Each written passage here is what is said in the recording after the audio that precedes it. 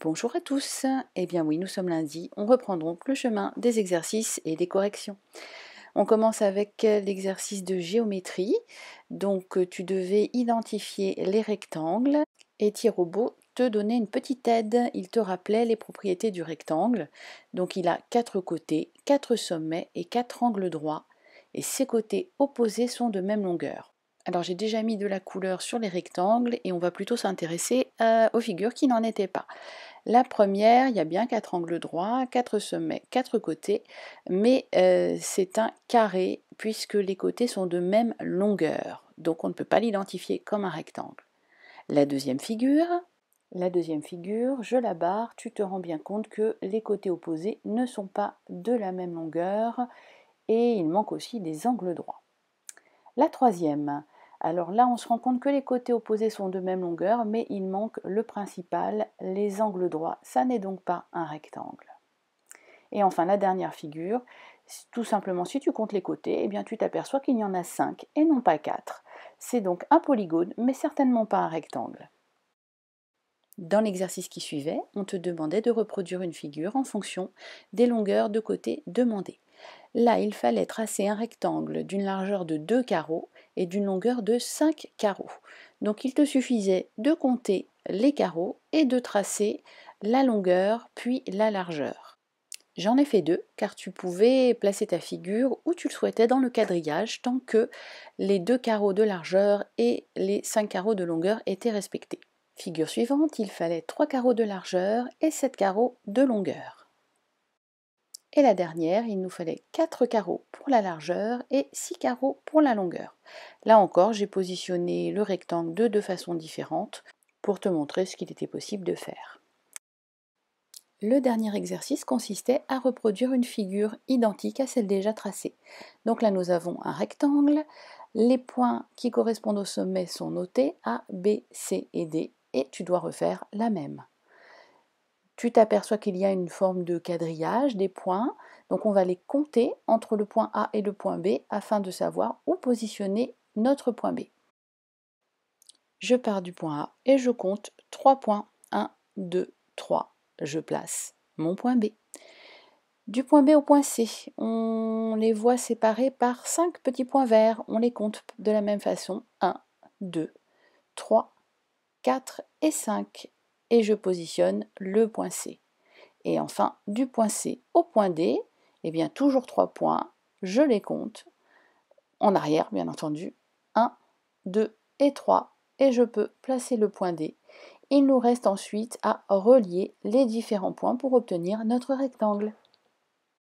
La deuxième figure était un petit peu plus compliquée et là, euh, on va le faire vraiment pas à pas. Donc, il faut repérer les points par rapport aux autres. Toujours le même principe. Mais là, cette figure, notre rectangle, est penché. Donc, il faut bien repérer et ça te rappelle un petit peu quand on faisait des exercices sur la manière de se déplacer dans un quadrillage. C'est le même principe. Pour commencer cet exercice, seul le point M était identifié. Donc tu regardes sur ton modèle et tu cherches le positionnement du point N par rapport au point M. Là, on se rend compte qu'il faut descendre verticalement de deux petits points verts et ensuite se déplacer sur la droite horizontalement de deux points verts. Tu peux ainsi reproduire cette mesure et placer ton point N. On passe au point O. De même, il faut se déplacer vers la gauche d'un point et de descendre verticalement de 5 points. O est placé. Il nous reste ensuite ce dernier point P, point du point M horizontalement en partant à gauche et en descendant verticalement toujours de 3 points. On reproduit ce schéma, on place le point P et là il ne nous reste plus qu'à relier nos quatre points M, N, O et P. Allez, un peu de français, donc toujours en orthographe, et l'accord dans le groupe nominal. Dans cet exercice, il fallait tout simplement mettre les groupes nominaux au féminin. On a déjà vu ça, l'accord du nom au féminin. On commence avec un physicien fou. Au féminin, ça donne une physicienne folle. Alors déjà, un physicien, qu'est-ce que c'est? C'est une personne qui est spécialisée en physique, les sciences physiques, hein, pas le sport, pas l'éducation physique, euh, un peu comme euh, plutôt euh, des formules, un mathématicien. Donc au féminin, ça donne une physicienne. On rajoute la marque du féminin, 2NE. Bien sûr, on change le déterminant, une au lieu de un. Et le nom féminin pour fou, eh bien folle. Nous avions ensuite un grand homme. Ça, c'est facile. Donc une au féminin, le féminin de grand c'est grande et le féminin de homme c'est femme. Ça fait partie des noms euh, qui changent complètement au féminin. Attention. Ensuite, le bon ami au féminin, la bonne, marque du féminin de ZNE, ami, on rajoute un E et tu en as certainement beaucoup. Un élève attentif, ça c'est moi qui en ai beaucoup. Au féminin, on remplace le déterminant une élève attentive.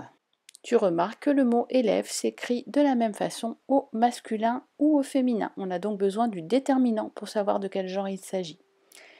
Des fermiers isolés au féminin, et eh bien des fermières isolées, on rajoute l'accent grave sur euh, le E de fermière et isolées, elles sont féminines et E et plusieurs S.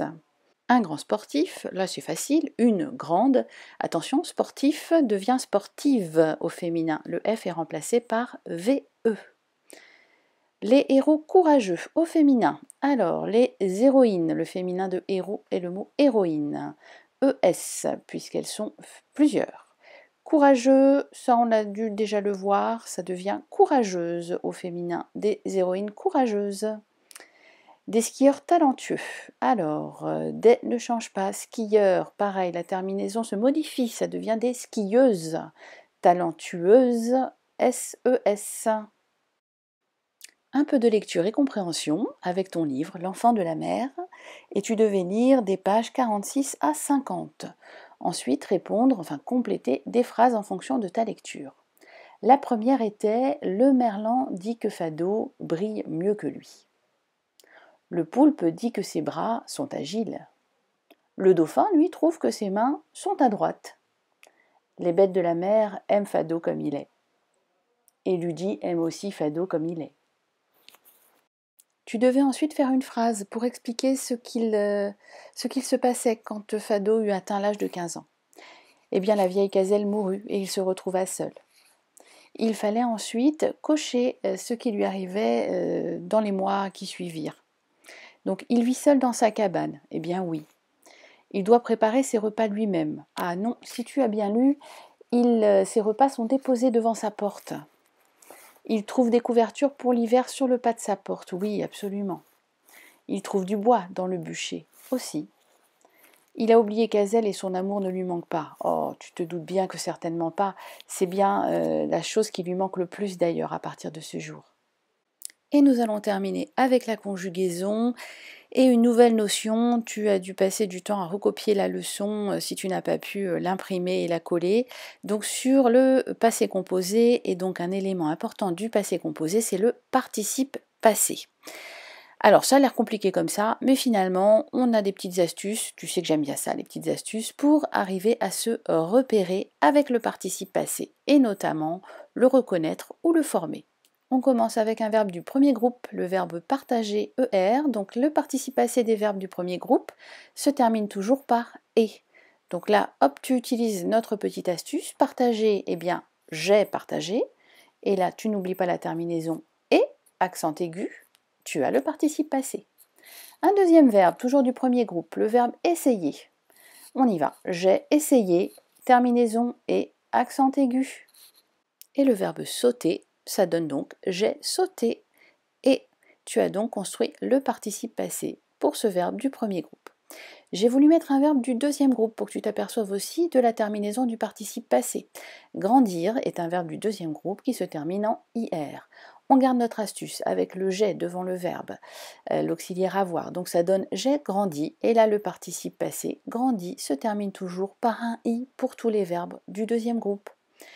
Et le dernier, eh bien, on va faire un verbe fréquent, le verbe faire. Ça, on s'en sert quand même beaucoup. On garde toujours euh, ce fameux j'ai devant. Donc pour le verbe faire, le participe passé se construit avec j'ai fait. Alors là, tu connais bien ce mot. Ça s'écrit toujours F-A-I-T pour ce participe passé. Voilà, donc ça c'était une euh, une première ébauche. On va continuer à travailler dessus dans les semaines qui viennent. Nous avons fini pour aujourd'hui. Je te libère. Je vous souhaite à tous une bonne soirée et je vous dis à demain.